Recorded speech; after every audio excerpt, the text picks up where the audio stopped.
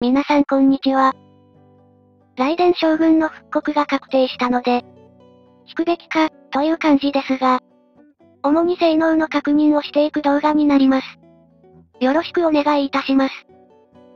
はい、通常攻撃について、基本使いません。使いたい方は趣味の道へ進みましょう。次、元素スキル。敵にダメージを与えた時雷元素で追撃します。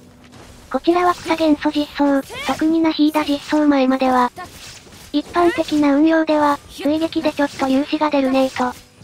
定期的に雷付着ができるねーと。付着ができるなら結晶も作りやすいねー。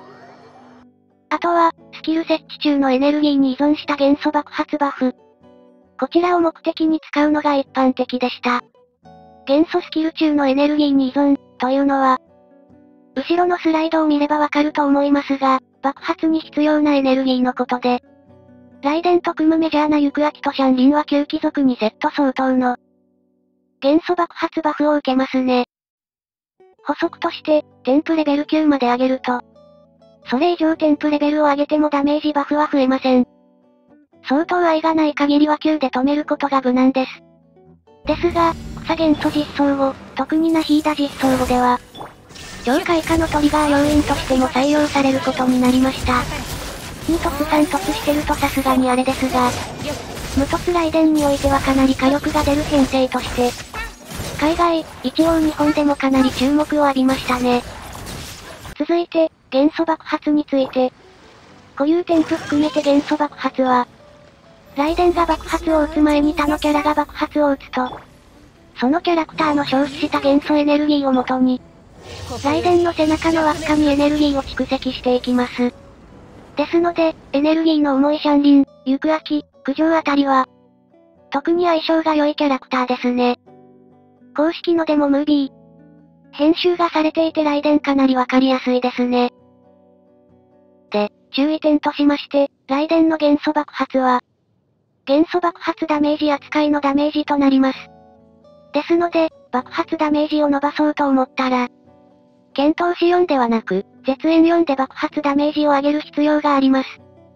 また、通常攻撃を振っているが元素爆発ダメージ扱いのため、ユクアキ、イエラン、フィッシュルの、通常攻撃を振ることをトリガーにするキャラ。そして、通常攻撃速度の上がる天空槍は効果がありますが、北斗、雷主人公のように、通常攻撃が命中した時の効果は発動しません。ご注意してください。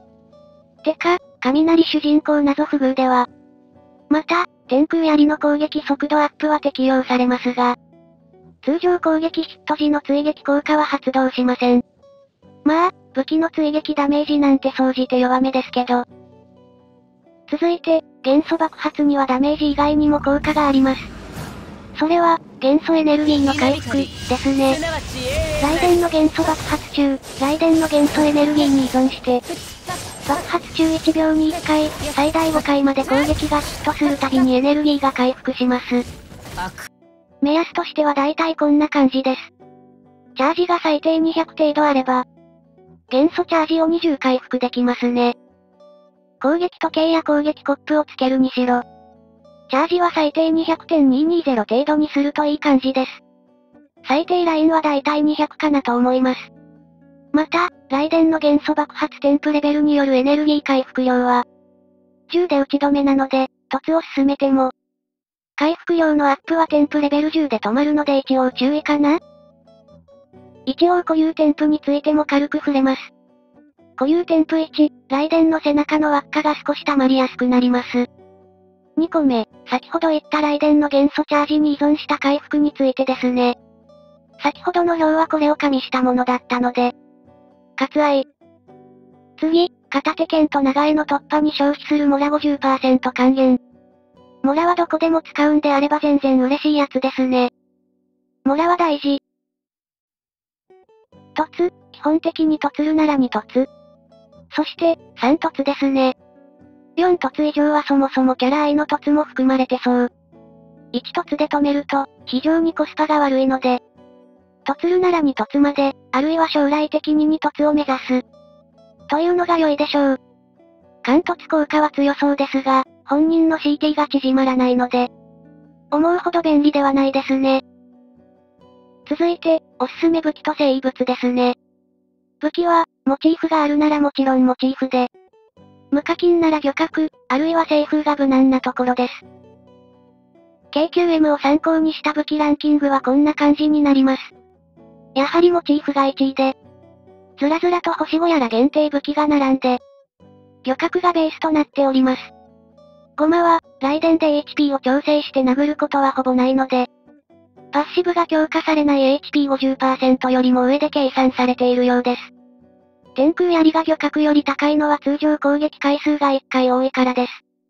同じコンボをすれば、この差は縮まると思います。関突洗顔は、リーユエ2人なので行く秋とシャンリンの2人と編成した想定ですね。この中にはありませんが、火力が少々下がっても、シャンリンが漁獲持ってる目う。って人は雷電は西風がおすすめです。超開花雷電の場合は、田中や北イン、ムーンピアサー、矛を装備してください。続いて、生物ですが基本的に絶縁4一択。ですが、絶縁を欲するキャラクターが、雷電の性能の都合上多いので、その場合は、絶縁プラス何かがおすすめです。しめ縄剣闘士や雷怒り、が候補ですかね。基本的に絶縁4一択なので、それ以外は妥協というくくりから出ません。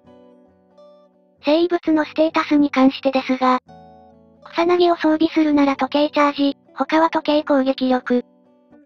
コップは攻撃力バッファーがいない時は攻撃力コップ。冠は会心。1はベネットや苦情が編成にいる時。2はいない時、小やはパとか。あとはベネット苦情のいない激辛遺伝ですね。ただ、困れば基本的に雷バフコップでいいと思います。会心率とダメージは基本的に1-2の割合。を目安に厳選しましょう。1王1-3までの範囲であれば、大きく火力が落ちる、ということはありません。で、引くべきかどうかなので、雷電の弱い点に触れます。まあ、これといった弱点はありませんが、強いて言うなら集団戦が苦手。はい、今はそれほど敵が散らばっていませんが、でかい狼がたくさん出てきたり、ちび狼が、カフカで吹っ飛びまくる螺旋だとそこそこ使いづらいです。また、からくり人形みたいに移動が激しいボスだと、攻撃がヒットしない時間が出てきてしまうので、爆発の回転が差し支えたりします。そして、あやかというか凍結と相性が悪いです。キャラパワーの暴力で解決はできますが、元素的に下手に超電導が発生すると凍結の邪魔になります。ですので、割と誰でも編成できるとはいえ、編成のコンセプトと相性が悪くなることがあります。まあこれくらいでしょうか。最後に編成。一つ目、ライデンナショナル。行く秋をカズハに変えたり、シャンリンをイエランに変えたり。足編成もあります。軽い解説として、シャンリンと行く秋の爆発を雷電で回して、行く秋とシャンリンの消費エネルギーを雷電に溜めてぶん殴る編成です。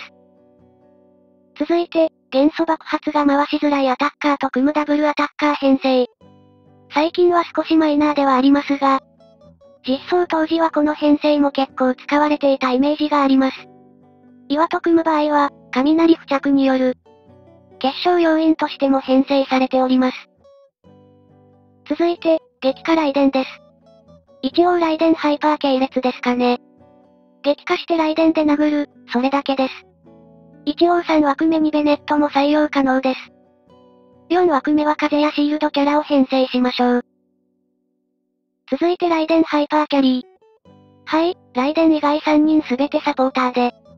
雷電にすべてのバフを圧縮して雷電で殴る編成です。この編成は主に雷電に凸から進化を発揮します。無凸でも螺旋くらいなら問題ないと思います。最後は超開花雷電。こちらは、ナヒーダで殴りながら超開花を雷電で発生させる編成。基本的にはナヒーダ、ユクアキ、雷電の3人を固定し、4枠目に雷2枠目やシールドキャラ、回復キャラを採用する感じ。雷電に突やん突していれば雷電でも殴った方が良いとは思いますが、無突雷電なら10機全部スパスキルだよりでいいかと。雷電の爆発を撃つ意味は低いです。また、この編成は珍しく北斗と雷電を一緒に組んでも、性能が損なわれづらい編成ですね。ナヒーダで基本的に殴りますし、北斗の爆発は、指導でしか超開花起動しませんので、超開花のトリガーは雷電で安定します。ということで、雷電についての動画でした。七神ですので、というとあれですが、基本的に引いて損のないキャラクターです。ほぼ全元素に汎用性もありますしね。汎用性はかなり強みでしょう。放浪者がどれくらいの性能になるかは未知数ではありますが、このゲームで最も引くべきキャラ七神ですので、迷ったら引きましょう。以上です。ご視聴ありがとうございました。さようなら。